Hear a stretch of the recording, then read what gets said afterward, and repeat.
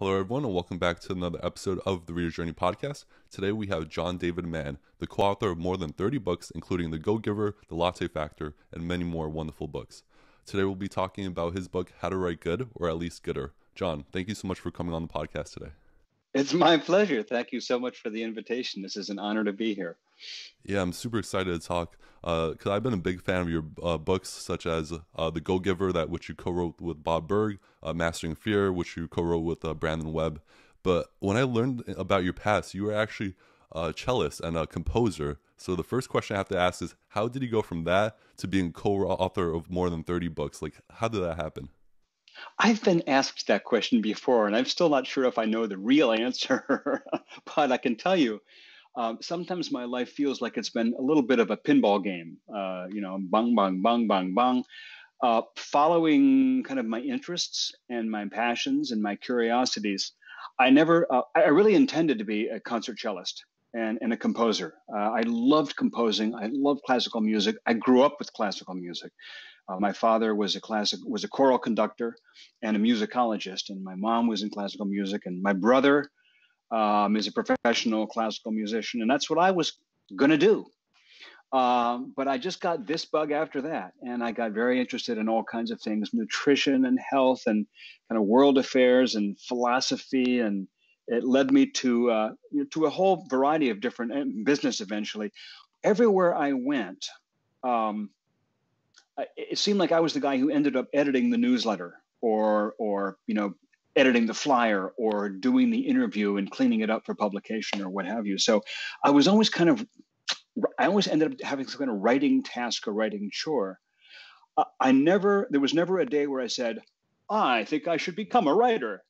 um, it, it kind of just happened. And I, I, um, I created some uh, periodicals. Uh, first, a, a journal, a lo- local journal, which became a national journal, and uh, a magazine about the health and the environment and then I got involved kind of in, in founding or co-founding one magazine or journal after the other, and I was always the, the, the editor guy. So I ended up editing a lot of other people's books, other people's writings for many, many years, and eventually that turned into writing books. Right. Wow, that's really you know fascinating. And journey. I love it and I love it. I love where I arrived. I mean, I got to tell you, I think I finally found my. It still feels like I'm writing music. It's just that it isn't notes; it's letters. Right, right. It's a d- different kind of uh, music that you use. You know, words uh, decorate like history and memories and knowledge, and you know, music kind of decorates uh, like sound. So I think there's definitely some similarities there. I think it's also amazing that like you weren't you like growing up as a kid you weren't like i want to be a writer or something that you kind of stumbled upon later because i was really surprised to learn like you didn't you don't have like a writing degree or like an mfa or something and you've written all these books. So i think that's a big like inspiration for, for like all of us who think oh you need to get a degree to become author or something like that.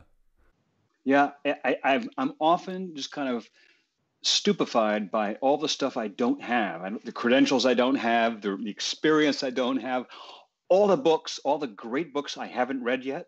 Um, but you know, you, we all start where we are with who we are, and that's just what it is. So, so, John, a lot of people who are listening, you know, they're aspiring writers. They want to be an author one day. And in your book, you say to write better, you need three things, which you mention: uh, intention, practice, and critique. Can you kind of elaborate on each of those ingredients? Yeah, sure. Um, so that's my recipe. Three ingredients: intention. Um, yeah, and intention is a cool thing. I, I, was talking about the etymology of intention, and if you break it down into its, its, its Sanskrit roots, it's it means something like a stretched string, like on a bow. And intention is like you're shooting an arrow, and you don't know exactly where it's going to land, but you hope you're pretty close. Um, I, I think that you you you don't become a good writer by accident. You don't write good writing by accident. It really is something that I think you need to intend to do. It's kind of like you make a decision. It's another way of saying it. Um, I, I really, that's why I called the book How to Write Good or at least Gooder. I mean, none of us is excellent to start with. Um, I, I, don't even know how to be excellent, but I, I know one thing I do know is how to take what I've done and improve it, make it better. And so that intention of making it better, making it better, making it better, that's that drives me. I, I get such a kick out of making something that I've written that's mediocre better and if you make it better enough it might even become good you know and so the intention i think is really important practice is just is is the thing of doing it regularly all the time Like I used to play the cello, and when I played the cello, I played every day. Um, I don't anymore. And I, I, you know, people have said, "Oh, you should play the cello every. You should go back to the cello." Well, you know, no, that's this is what I do now, and this is my practice. Um, if you're not doing it every day, means kind of like five days a week or six, maybe a day off, but pretty much you're writing every day. Um, and even if it's only 10 minutes or 15 minutes or 20 minutes, when my dad was was uh, was doing his doctoral thesis, which later turned into a book, which is still selling today, decades later, the only time he had during the day, uh, which he could put time in, was 10 o'clock at night. So from 10 to 11 o'clock at night, he worked on his thesis. And you know, it's this is now 60 years later, and the book is still selling. But he he took that hour a day. So it's a practice. Um, and so I think those two are obvious: intention and then the practice, which is putting the intention into into uh, effect. The third I, I say is critique, and I think critique is so critical because there are people who have perspective on you that you don't have on yourself. Um, you can do you can critique yourself, but it's a tricky proposition. Yeah, it's kind of like trying to tickle yourself. If you're trying to tickle yourself, it doesn't really work because you know what's coming. You already know, yes, my hand. Like, I'm not ticklish. Critique is like that. You need somebody else to do it. Um, you need someone else to, else to read what you wrote and say, you know what, I love this. And you weren't sure if it was worth loving. You weren't sure it was great. And they say, I love this. This part here, I, am just not sure about. And I thought that was the best part. So um, you need, I think you need, if you want to really refine and improve, you want to raise the level of your writing, absolute essential ingredient is having people of good judgment, people whose judgment you, you trust, who are qualified. Um, typically, you want people who are really avid readers, who love books and who read a lot, um, and who will read your stuff and tell you the truth, tell you what they think. I think it's crucial. Every time in my life, I think I said this in the book, my my writing story is not like a straight line of getting better, better, better, better. It's mostly like this, and every now and then I've taken a little leap and improved. Every one of those leaps has been because I had a great teacher or a great editor or a great agent or somebody who really pulled me up a level by saying this part doesn't work, this part works, this part I just I don't know. You got to do you know, etc. So.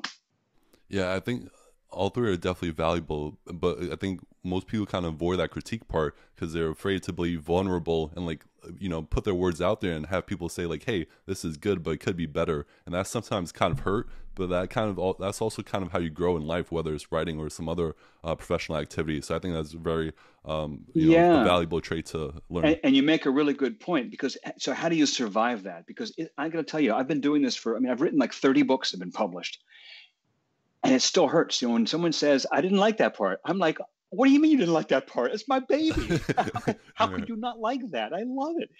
Um, so how do you survive that? You have to have uh, like this sort of unshakable, ironclad belief in yourself, faith in your in yourself and in what you're writing.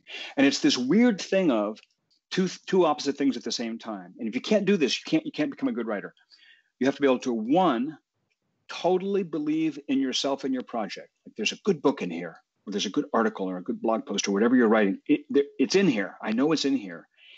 At the same time, open the door to someone telling you which parts work and which parts don't. And those are contradictory mind states. I like to say it's kind of you have the the the, the, the arrogance of a teenager and the humility of a Buddhist monk.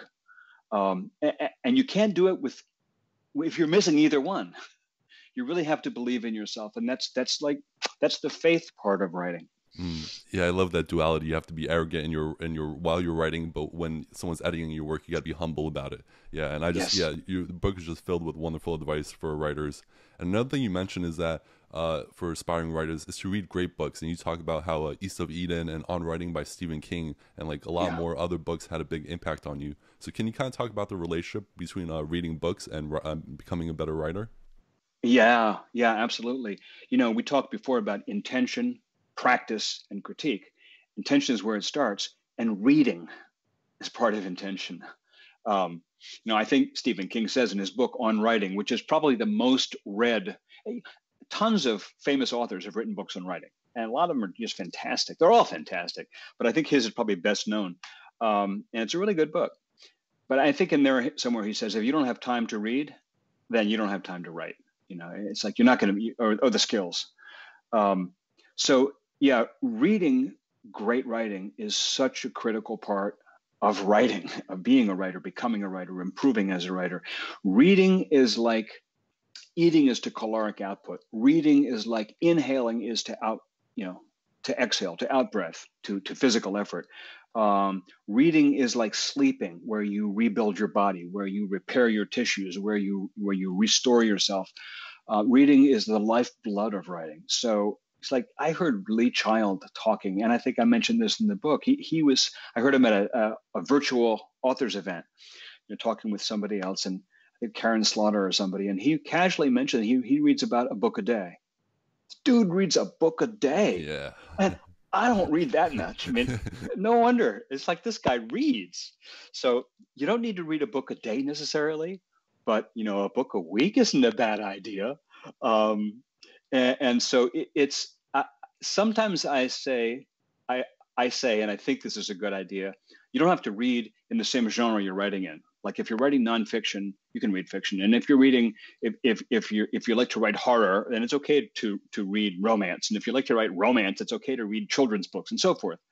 Um, I say that at the same time, I have to you know admit that for years I wrote nonfiction, and all I read was fiction. I, I wrote all those parables. I wasn't reading any parables. All I was reading was was crime novels and so now I'm finally writing crime novels. That's what I wanted to do for 20 years. but yeah, reading uh, reading is is uh, is crucial. And sometimes you you uh, you know we'll talk about writer's block, but sometimes you hit a block where you can't. I hit a block where I can't do anything, and it's because I need to take a break and read. I need to refill refill the inspiration. Yeah, and there's, there's multiple like kind of advantages to reading there. One is like you're getting inspiration. Two is like sometimes you need a break, and three is like you have to learn from the masters if you want to get to like yes. that level. It's cool to read, and I, I I should do this more than I do, and I admit that. I mean, I think it's a great thing to read something that, that just hits you like a two by four, and then say, okay, now wait, how did she do that? I mean, what words did she use? What order are they in? What what what's the magic here? And put yourself behind the curtain and try to figure out what this author did. Every now and then i do that and it just it, i learn so much from it. I don't do it as much as as i might think i should because i'm being sucked along by the book but i do think it's a great thing to do. And some of my favorite books i've read multiple times. If, if you want to read a book two or three times that tells you that there's a lot of, of, of juice in that book to get out and I think you just touched on a really important po- uh, point, which is like uh, you're being a deliberate reader. Like not only are you reading the book, but you're seeing what kind of words do they use, what kind of sentences, how do they yes. organize this paragraph in the story. Yes. I think a lot of writers kind of just okay, I'm reading this book for entertainment, but they don't really take that next step and become deliberate about what they're reading and how the author structured the book. And you can do both. I mean, you can completely enjoy them, but it's nice every now and then. And here's here's the thing you can do is the way you can do it is just keep tabs on yourself and notice when you, you had your socks knocked off. You know, notice when you go when you have to sit back and go, whoa, that passage was so beautiful, or that passage was so shocking, or I am so surprised, or I'm so gripped, or whatever it is. I have to stop and uh, and go, whoa. When that happens, if you don't want to stop right now because the story is pulling you along like a riptide, bookmark it. You know, bookmark it. Go back, highlight, go back and maybe tomorrow after you finish the book whatever it's worth the time. Go back and find your favorite spots and say okay now what just happened here? Because it isn't always obvious. Like sometimes i go and i look at i look at you know a passage that i that i just adored like in tana french or in raymond chandler or in oh heck in lee child whoever. And i'll go back and look at it later and go i never even realized you know that the guy had like three or four or five pages of paragraphs that were this long and suddenly went boom, boom, boom, boom, boom, boom, boom, short paragraphs, and then boom, a one liner. I, I, didn't even see that happening when it was happening. But when I go back and I and I kind of analyze this, oh right, I get why I was like choking in my in my in my chest because he because he did that to me with his with his with his paragraph breaks. Yeah it's cool. It's it's so much discovery to, to do there. Yeah, so, so that's a wonderful tip for all the writers out there is to study books. And you also share yeah. another tip, which is kind of like study words, study the etymology of words. Can you kind of dive into like why that's important for aspiring writers? Yeah, I mean, I think first of all, the the there are so many words I don't know. And one thing that I do is I, um, you know, I used to sit with a dic- with a dictionary nearby. Now I've got a phone. It's cool, you know, like phone. I don't even have a dictionary on my phone. I just hit Google. I hit my browser, you know, and I do this when I'm reading a lot. I'll read along and I see a word I don't know. And in the past, I would just skip over it because I get the gist of it from the sentence. Go find out what it means because it's like using a muscle you don't usually use. So I'll go, I'll just hit my browser, put the word in, boom, and you know, I start to learn all about cool. I learn all about it, look at some synonyms. Ah, yeah. So before etymology or anything fancy like that, I like to just look look at how a word sounds and how it feels and you know what the implication is. Like what is cook versus burn versus sear versus char versus scald. I mean, all the different words that mean the same thing. Um, because sometimes you're writing something and you use a word and either you just used it so you don't want to repeat it or it just doesn't have the bite or the power or the flavor that you want. And it's really a cool exercise to say okay what are five other ways i could say that? What are seven other ways i could say that? Um, so so uh, here's a, a, pro tip. This is something i do all the time. Let's say i i, I I want, I'm using the word jump. I don't know, and I want to find a different word for jump. I'll go to my browser. I'll just type jump and then space and then S Y N for synonym. That's all I type because I don't want to waste time. I go jump space syn and boom, it pops up synonyms. And without even going to other, it'll just drop down on your screen. You can see all these. It's just it's such a great tool. And I admit to doing that constantly. I'm always looking up words and their synonyms. Um, the etymology of words I think is really cool because um, a word. Here's an example. I want something. I want a place in the country. I want to be successful. I want to be handsome. I want a bigger house. You look at the word want.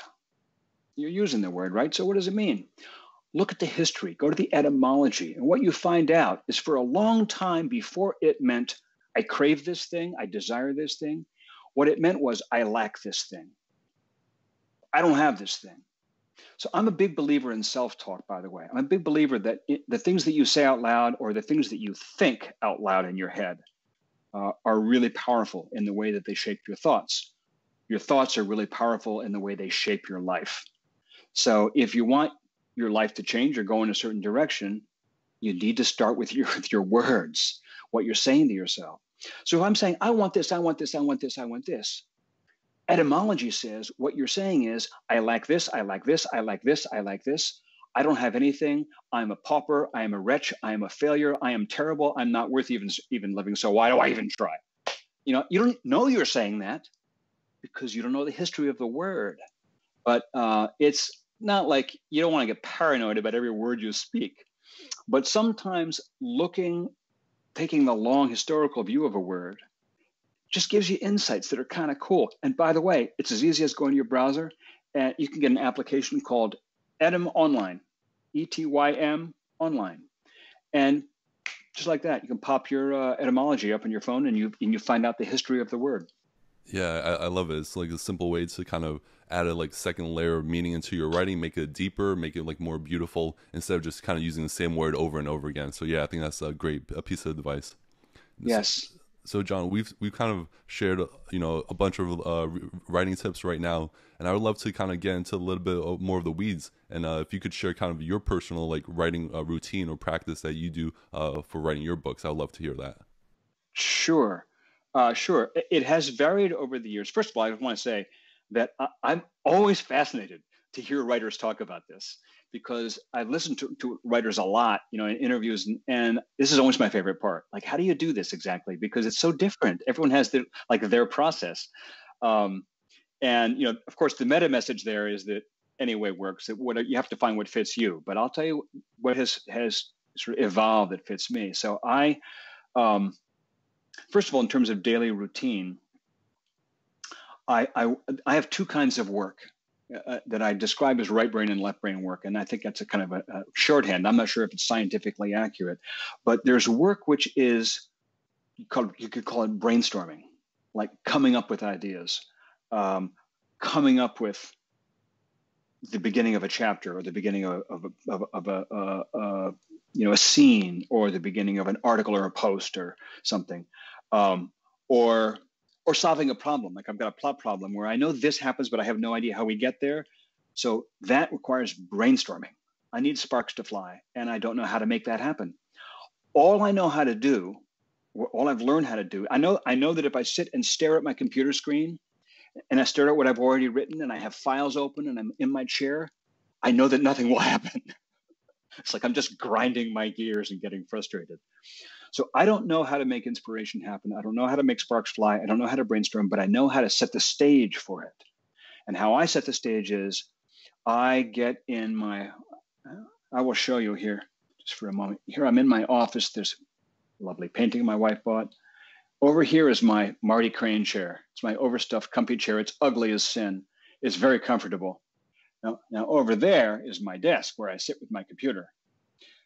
I go sit in the corner uh, like a good student, go sit in the corner in my comfy chair with a blank pad of paper with nothing on it and a pen. There's no computer nearby. I've got a cup of tea. And I just sort of ask myself a question. It's like, uh, how does this character, you know, what is this character thinking? How does this scene begin? Or I ask myself, how do I, I, I pose a number of questions.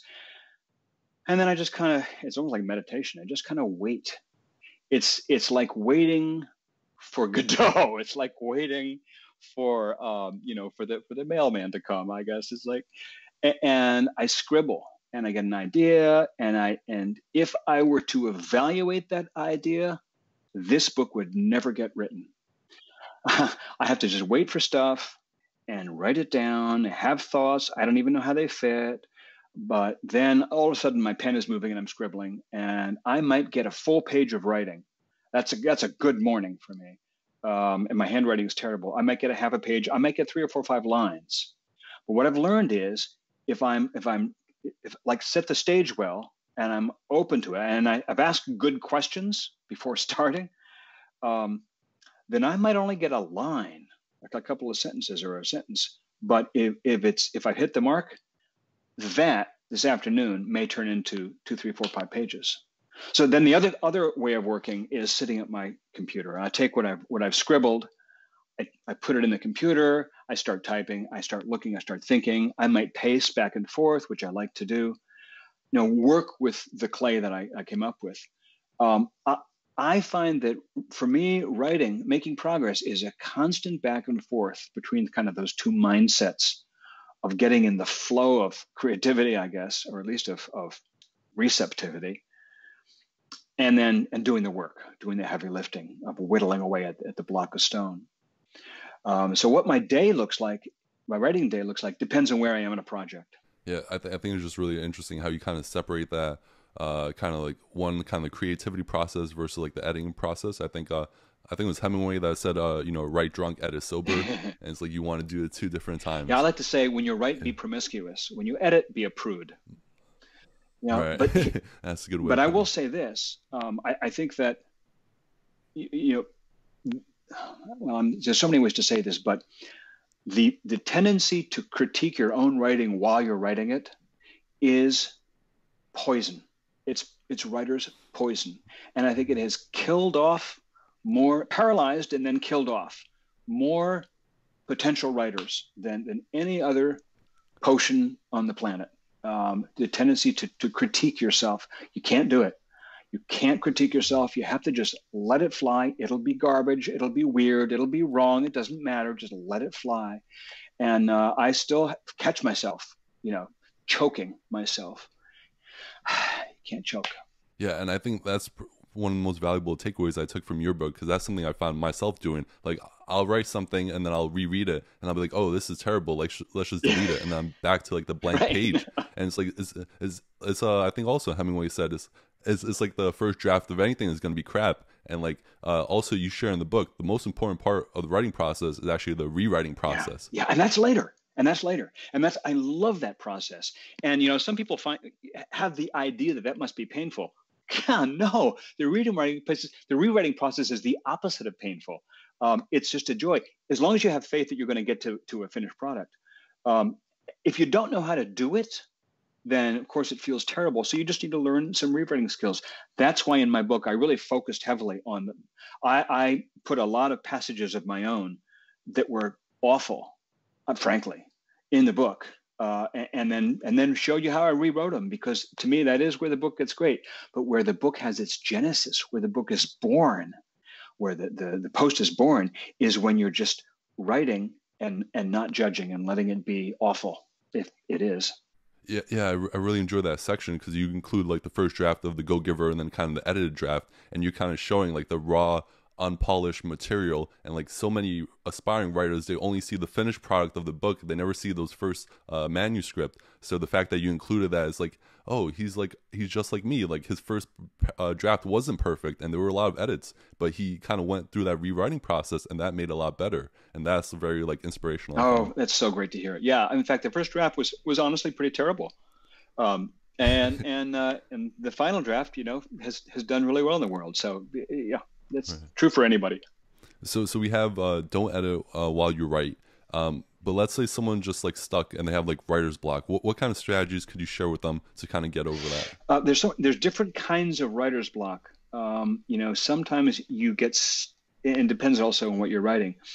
Some, so I'm going to just I'm going to do a little sort of scatter shot here. Just throw out a couple of different ideas. Okay. You know, one may apply to you and the others may not. Um, sometimes you get I'll, I'll find that my, my uh, I've run out of gas or the, the gears are grinding down and my car just isn't going to move. And I'm somewhere in the middle of the story and I'm just kind of stuck. I mean, I got these story problems, but but it's bigger than that. I just can't seem to move. And this could happen in writing an article or a nonfiction book as well.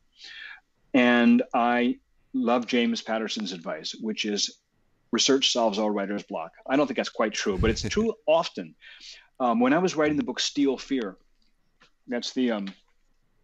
Here, let's get the audio visual audio visual aid. Steel Fear. When I was writing Steel Fear, uh, my first novel, it takes place on an aircraft carrier, and I've never at that point I'd never been on an aircraft carrier, but I, I did well a little later. But um, I got stuck often, and what I did was I went on on online and just read a ton about aircraft carriers. I uh, read books about aircraft carriers, and every time I went online, I would learn something that was just bizarre or wild or fascinating. I had no idea how it fit in the story, but all of a sudden it would spark other, you know, well, what if he did this and what if that happened and what if, what if, what if? So learning new stuff, it's like people say travel is the greatest way to write. Mm. That it is a great way to write, but you can travel on your computer learn stuff about your subject, learn stuff about your location, learn stuff about your characters or that type of person. Gobble it up, even if it doesn't seem relevant. And that often pulls you out of the rut and gets you going. That's one. Another one, writer's block. Often people say, I, I can't, I don't, like I have this idea, but I, I don't know how to start. I don't know how to start. Mm. So here's my advice for everybody who says they have a book in them, but they just, they're afraid of the blank page. They don't know how to start. My advice is don't start at the beginning. Don't try to start at the beginning Start wherever the apple lands, wherever the dart hits the wall. Start wherever something sparks your imagination or catches your fancy or inspires you or intrigues you, or if you have this random idea for a thing that somebody says or that somebody does, start there and write that. And don't read it, right? Just start, write that, and then put it away. Don't read it. Organize where you put it so you know where it is. Right? Be organized, right. but don't don't even edit a single letter, a single punctuation mark. If you forgot to put a period at the end of the sentence, don't go back and put it there. leave it, leave it, leave it. um, and, and then, you know, some people write in a more linear way. Some writers like to start at the beginning and write to the end. Some people write in a very non-linear way. They kind of it's like it's like weaving, and they just go the whole thing. I, whatever your type is, if you're stuck and you don't know how to start, don't start at the beginning. Start where, wherever I call it the low hanging fruit. Start where it's easy to start, and don't worry about where it fits in the book. Write a lot of different pieces, and then you can worry about the structure of it. And and you know your actual starting point, you may not get it until three quarters of the way through. Uh, happens all the time. Yeah, another another uh, uh, part of writer's block is um, ask yourself different questions. You know, ask yourself a question about this book or about this article or about this blog post. Ask your, you can ask yourself, what am I really trying to say? Sometimes you get blocked because you're trying to do two things at once. You're trying to say two things. Mm-hmm. You're trying to make two different points, or you're trying to have two things happen in a chapter, and it's too many, and it, they're choking each other off. Uh, it can narrative can be like uh, narrative writing can be like a garden. If you have too much stuff, it can all choke each other and nothing grows. So mm. I've had I used to write a, a monthly column for a magazine. I did this for years. I had a regular column for years and years and years and years. And often I would get stuck in the column. And I had a friend who who would say, you know, you should just take this part out and make it a separate article. And as soon as I took this subject or this concept out of the article, suddenly it was easy to write. I had too much in there.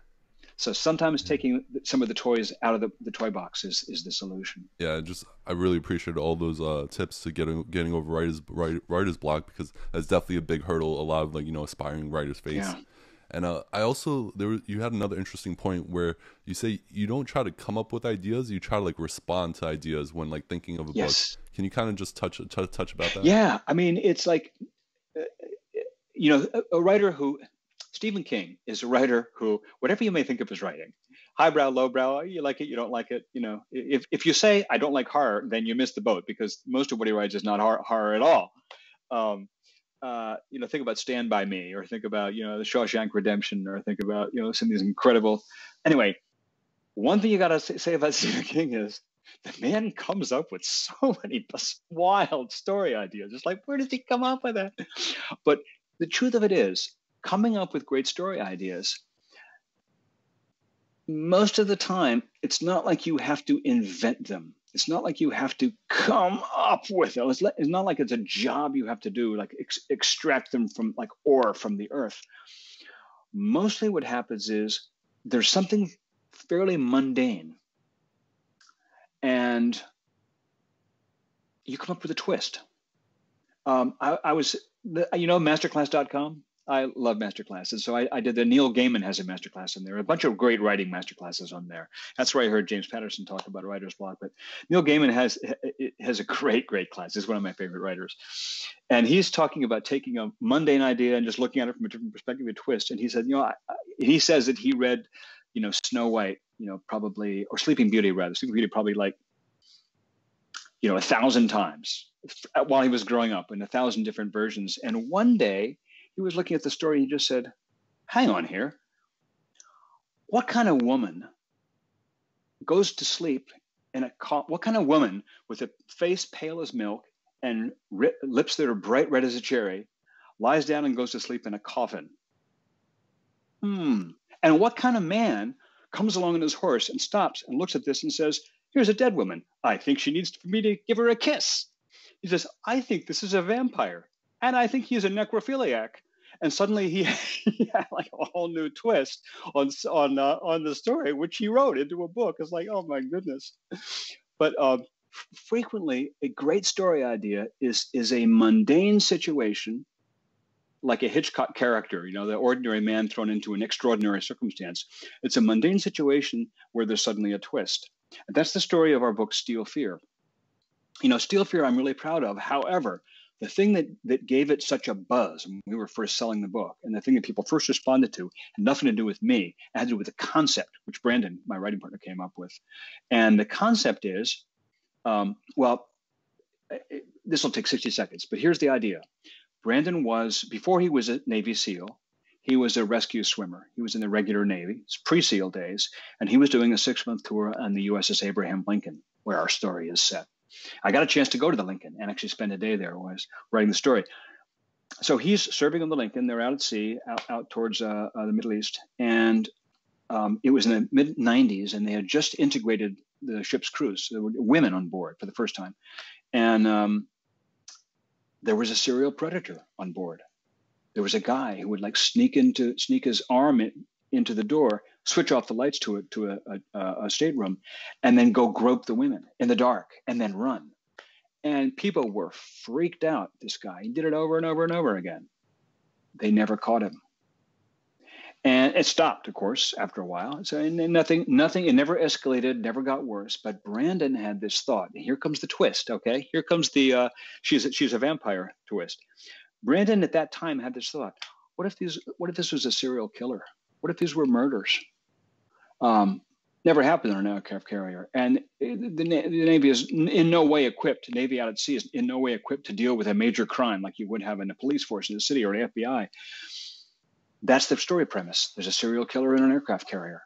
Um, it was my job to come up with the hero who would have to solve these things and then to, to weave the story. But that's a brilliant concept.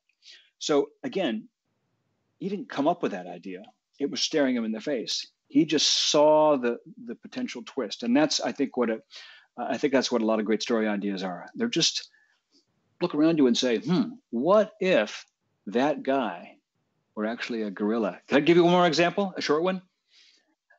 So there's this wonderful collection of stories by Don Winslow called Broken. It came out just about a year ago, and Don Winslow is one of my favorite writers. He's an amazing writer, but um, uh, his his most famous book probably is The Border, his a drug trilogy, which is fantastic. But he came out with this series of six short stories called Broken, and one of them, he says years ago he was out in a ranch somewhere in the west, and he was working with a crew out out on on some fences or something like that, and um, he said he is notoriously clumsy with tools and terrible with tools. And I guess he had his hands on a chainsaw at one point. And one of the guys on the crew said, handing Winslow a chain, chainsaw is like giving a gun to a chimpanzee. And Winslow says the, the, the, line stuck with him. It stuck with him. It stuck with him for years. And finally, he's the line turned into, "No one knew how the chimpanzee got hold of the gun." And then finally, he had to answer the question for himself. Well, how did the chimpanzee, chimpanzee get hold of the revolver? So one of the stories is called San Diego Zoo, and the opening line is, "No one knew how the chimpanzee got hold of a revolver." And it's like, it, boom, the whole story is off and running. It's like, where do you come up with that idea? Well, it was just happening in his life. He just had a twist to it. So. And yeah, I'm now I'm, I'm like hooked into like Steel Fear. I'm like, oh, I got to know what happens next. Do they catch the guy? Like, how does the story go? So yeah, it's definitely you know a good hook. Yeah, and something you touched upon there is like you have to sell this book, you have to sell this concept. Could you kind of just talk about? Because I think a lot of people think like, hey, I write this book, and you know, I send it to like a publishing house, and it get and they like they send me like a hundred thousand dollars. Could you kind of talk about kind of the tr- traditional uh, publishing route and how you? Yeah, actually, all you have to do is have an idea for a book, and they send you a hundred thousand dollars. No, that's not true. Okay, it doesn't work like that. Um, uh, so it's like this publishers are in the business of publishing your book, and they're really good at that by and large. They're not exactly in the business of promoting your book. It's not really what they're designed to do, not what they're set up to do. Now, this varies. It depends on whether you're doing nonfiction or fiction. It depends upon what niche it's in. It depends upon how well known you are. It depends on a lot of things. But by and large, people think that if you write the book, the publisher will publish it and sell it. Hmm they'll publish it and make it available. Um, it, it, this is this is a, a, simple way of, of looking at it. You've got traditional publishing and self-publishing. They call them trad and self. If you trad publish, like you traditional publish, you've still got to promote the book as if you would self-published. If you self-publish, which is you know another totally equally viable channel, if you self-publish, you've still got to produce a quality product as if it were traditionally published. And these are the two biggest mistakes I see uh, authors make, you know, starting authors make. Write a book, like just exactly like you said, Alex. Write a book, get a, you know, get an agent, get a publisher, get a deal. This is fantastic, and think that the job is done. And it's unfortunately it's not. Most of the time, you need to really be in the business of promoting the book. Um, that's why typically, especially for a nonfiction book, if you're going to publish a book like in your in your profession or in your expertise, the first thing the agent and the publisher are both going to want to know is what's your platform, and what they mean by platform is how many people can you reach, how many copies can you sell, not out of the back of your car, not in your you know on your website, but how many people can you get the word out to? Can how much buzz can you create? about this book. Now, if you can create a lot of buzz, publishers great in following up on that buzz. Um, but you know, often advice you'll hear an agent give a starting nonfiction writer is, "This is a great idea for a book. I recommend you spend a year first building your platform." That's what they mean by platform. Now, if you're already a best-selling writer, you've got a platform. If you're a nonfiction person and you have a, a, a, a you know a blog, if you have uh, 100,000 followers on Twitter, like like Alex does. Almost really close by the time this broadcasts. If you know, if you're like a social media influencer, or if you have um, you know you're on a speaking circuit or if you have corporate clients who have lots of employees all of whom want copies if you have some way of reaching a, a large amount of people or if you have access to traditional media because you just because that's the world you travel in you, you can get radio shows and tv spots and so forth. Cool. Then that's part of your platform. Um, there's lots of ways of building a platform but without a platform nobody knows about your book and the publisher won't create a platform for you. So that's, you know, it's just a fact of life. A publish, particularly now when there when there's so much noise in the world. There's so many books being launched every day that you may have a fantastic book, but they won't they won't beat a path to your door for your mousetrap unless they know about it. They have to know about it. Yeah, and I think that that's such an important point to make is like there's one that's like selling that book, getting that book deal, then it's writing that great book, then it's yes. actually promoting and telling people about that great book. And it's actually like three separate parts, if not more. And it's not just writing a good book is like that's not just you know you have to do a lot more than that as a author as you say you also have yeah. to be like a marketer and, and, i'm not a very good marketer honestly and that's one reason that i've, I've made a career out of co-authoring with people who are good marketers um, but i'm learning i'm learning how because i you know in this phase of, of my career that I'm in right now, I'm starting to move into uh, books where I, I know that I'm going to need to do some of the heavy lifting. I'm starting to learn, you know, better. Uh, there's so many tools for doing that, and there's so many. It's, it's like it's not it's not rocket science. I hate to say it, um, but it is. It, it is. It does take some time. When you're a writer, you're an entrepreneur. That's just what you are. You're an entrepreneur. You know. So hope you like being an entrepreneur. I do. yeah, yeah, you definitely have to wear a lot of hats in uh, the, the, industry. And so, so, John, so you like you mentioned, you've written over thirty books. Some were business books, some were parables, some are now you have fiction and like novels. But I wonder if you could kind of just separate into like two genres, like nonfiction and fiction books. What are like the similarities of writing those books, and where do they kind of differ? Sure. So I've written a lot of uh, uh, quite a number of parables, maybe a half dozen or so parables. They are the Go Giver, and then there's uh, several more Go Giver books. Go Giver Leader, Go Giver Influencer. We have a book called The Go Giver Marriage, which is coming in a year or so. Um, and I've then a few others, Out of the Maze. You mentioned the Latte Factor, and so so those are all. It's funny they're classed as nonfiction. They're usually shelved as like business nonfiction marketing or whatever it is, but they're actually kind of fiction because they're stories. You'll make them up.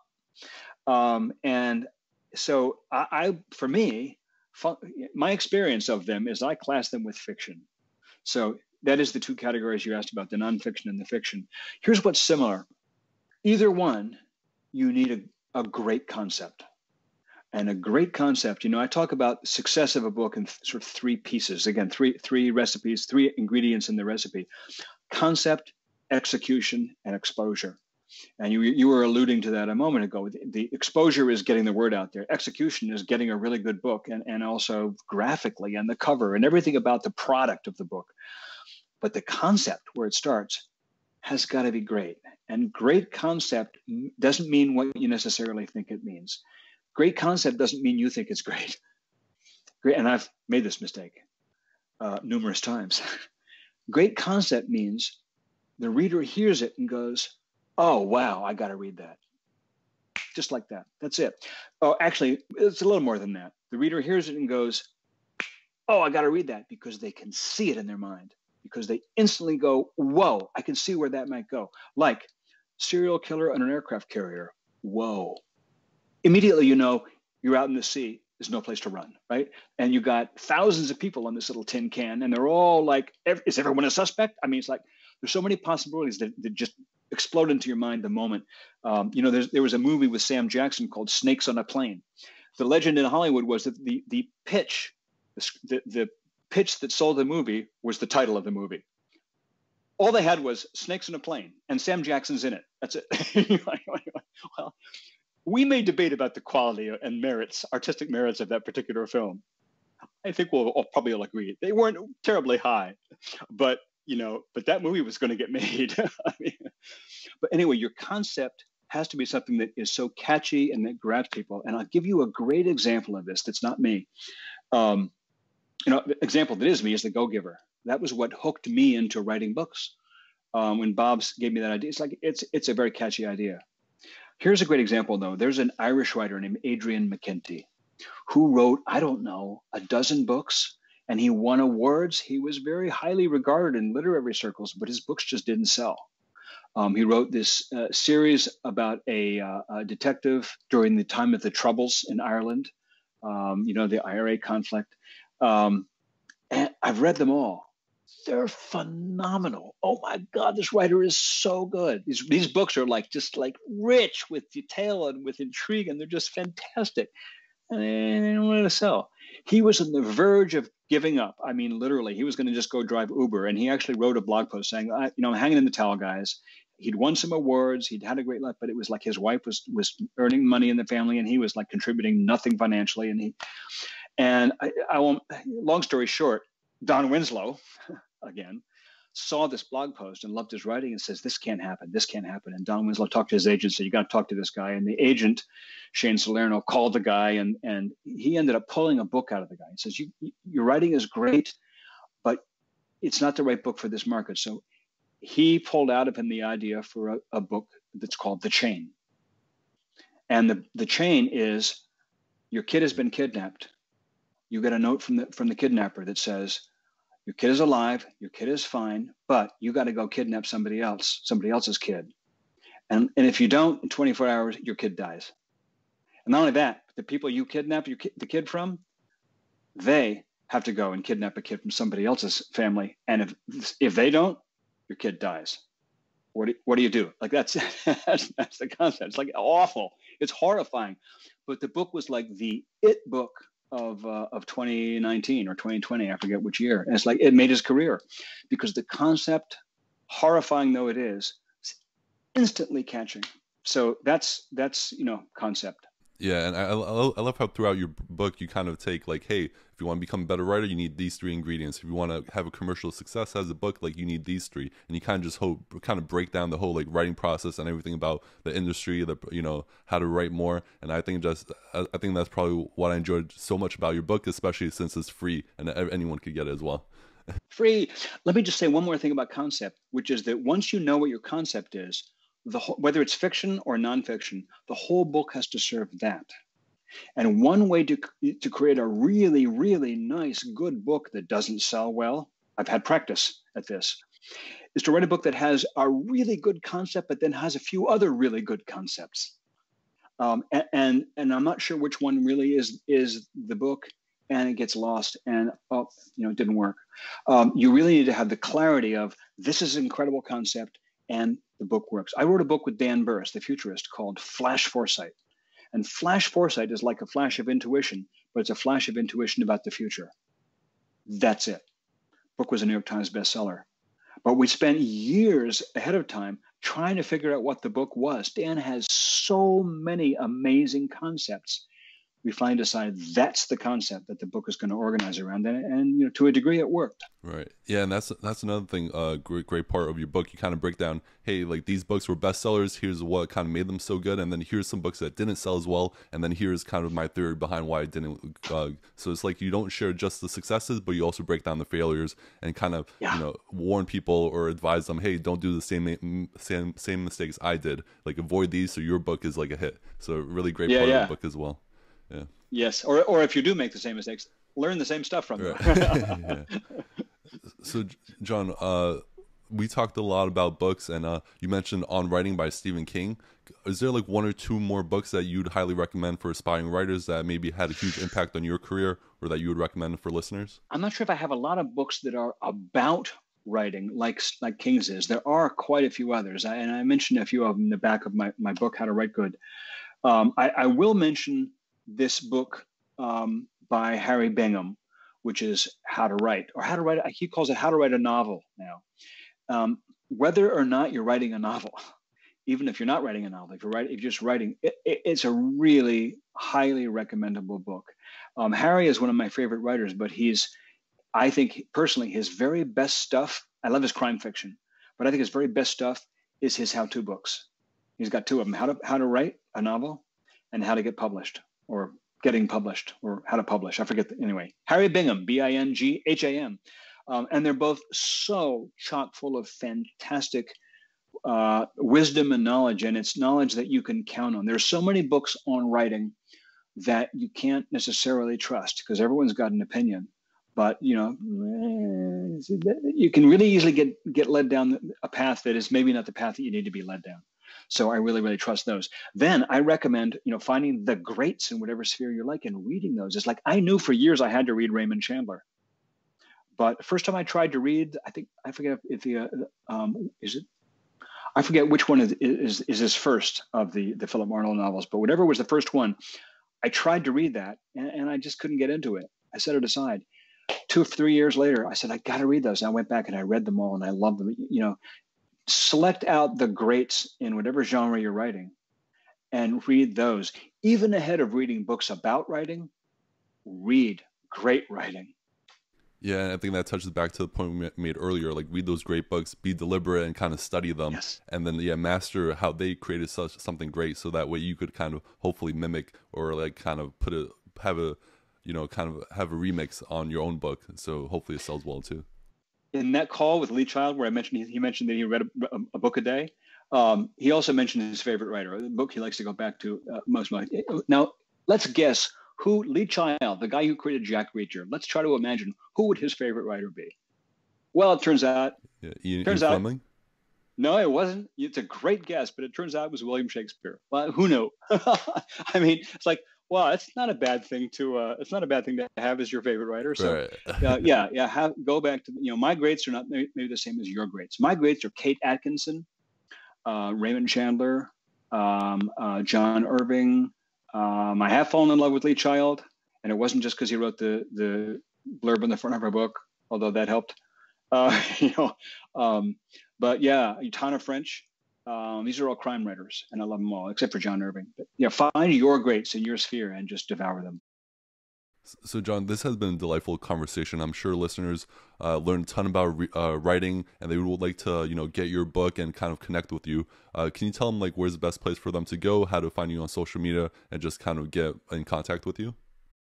Sure. I mean, it's it, and it's one you know one answer for all that. It's, it's just my website. Um, uh, it's my name, which is John David Mann with two N's, johndavidmann.com. Um, it's, all my books are there. Um, all my social media links are there. Some more active than others.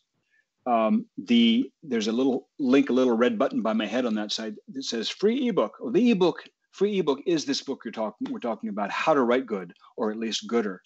And I wrote it. Um, I originally intended to publish it as a as a you know published book in the marketplace, and I decided this year that I wanted to. I just really wanted to get it done and get it out there for my readers period so you're right it's on the house there's it's free um, it's a 130 page book it's like a full size book but it's you know it's my my love letter to you yeah yeah and for everyone listening sometimes like you might think oh free ebook is like kind of like a rough draft or something but no it's like when i was reading it it's like how come he didn't publish this into like a legitimate book it's like it's so good so yeah you really deliver a ton of value and i found that Oh, you know you. filled with ton of advice so I highly recommend everyone to go to john's website and download the book it's free of course and um John, I just want to say thank you so much for coming on the Reader Journey podcast. This has been a wonderful conversation. Uh, I've learned a ton from your book, from this conversation, and I'm sure uh, listeners did too.